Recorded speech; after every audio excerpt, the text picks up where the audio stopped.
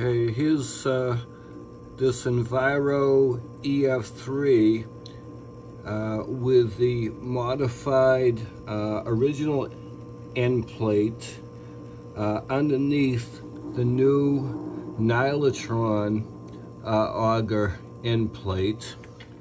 Uh, this is the original style end plate with the bronze bearing, kind of dirty inside there. And um, as you can see with the uh, modified end plate, the um,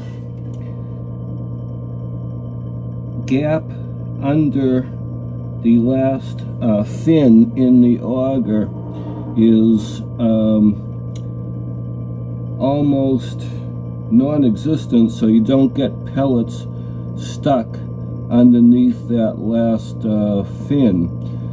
Uh, that combined with the Nylatron bearing really eliminates most of the auger jams that you may get. You still have to be careful with uh, keeping the pellets nice and dry because that's the only other thing that could cause any auger to jam. Thank you.